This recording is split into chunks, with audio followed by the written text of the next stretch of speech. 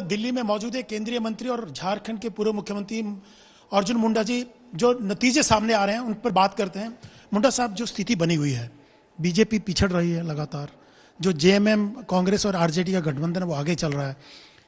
क्या वजह क्या है पिछड़ने का बीजेपी? देखिए, वजहों के बारे में तो बाद में चर्चा करेंगे, लेकिन मैं आपको ये बता दूँ कि ये अभी जो इनिशियल, हमें लगता है कि दो तीन राउंड की गणना हुई होगी, गिनती हुई होगी, और इसमें नतीजे पर पहुँचना उचित नहीं है। 12 बजे के बाद देखा जाएगा कि क्या ट्रेंड है।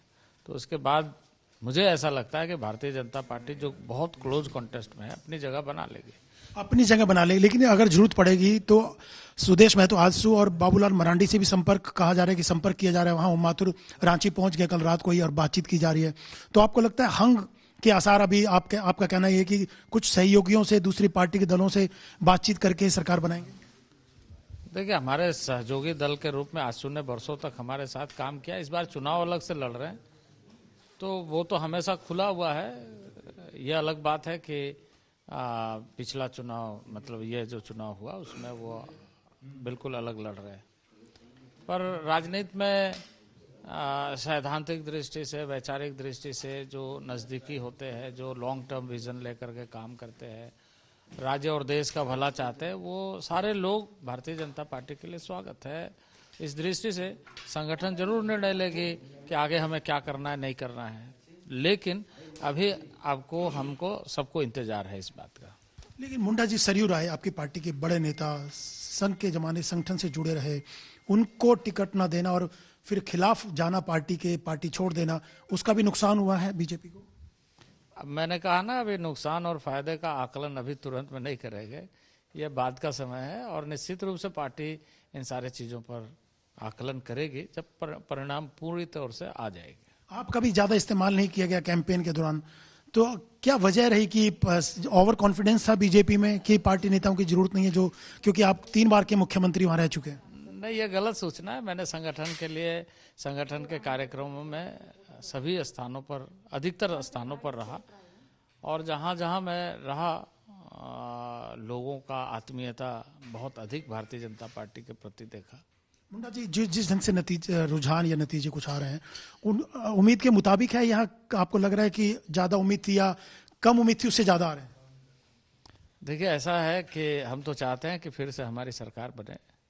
और उस दृष्टि से अब धीरे धीरे हम आगे बढ़ रहे हैं। जैसे आपको पता है कि अभी हर राउंड में बहुत क्लोज कंटेस्ट है और आ, उसमें ये कहना बड़ा मुश्किल है कि उनको इतनी बढ़त है तो वो बहुमत के तरफ़ है या हम बहुत पीछे हैं। ये कहना इस समय उचित नहीं है क्योंकि ये दो बजे के बाद आप ये बात पूछ सकते हैं और दो बजे के बाद ये बातें आ सकती है कि वास्तव में जब पंद्रह राउंड तक पहुँच जाएगा तो क्लोज कंटेस्ट में कहना बड़ा मुश्किल है।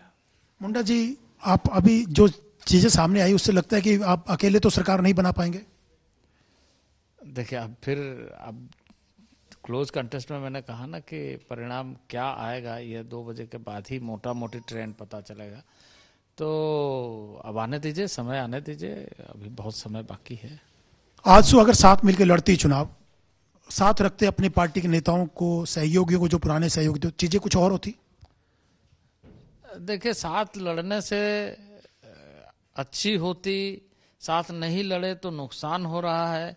ये भी बातें जब पार्टी बैठेगी तो चिंता करेगी कि निर्णय के अनुसार क्या अनुकूल प्रतिकूल प्रभाव चुनाव में पड़ा।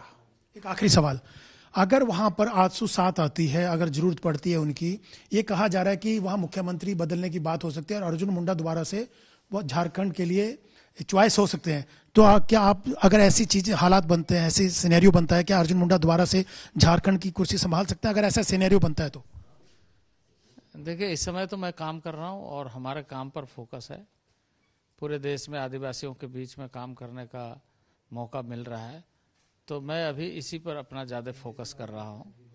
और इसी फोकस के आधार पर आ, मैं समझता हूँ कि देश के जनजातीय क्षेत्रों को समझने का मौका मिल रहा है। और इस समय ये विषय मेरे अधीन नहीं है कि मैं अपनी इच्छा अनिच्छा ज़ाहिर करूँ बल्कि ये सारे विषय संगठन के स्तर पर देखा जाता है। जहाँ तक मेरे पर्सनल के बारे में आप पूछेंगे पर्सनल ओपिनियन आप पूछेंगे मेरी इच्छा पूछेंगे तो मैं कहूँगा कि मैं जिस काम पे अभी लगा हूँ उसमें बहुत सारे ऐसे ऐसे प्राथमिकता हमने तय किया जिसको हम चाहते हैं तो चलिए अशोक वापस आते हैं आपके पास अर्जुन मुंडा से अशोक सिंगल बात कर रहे हैं।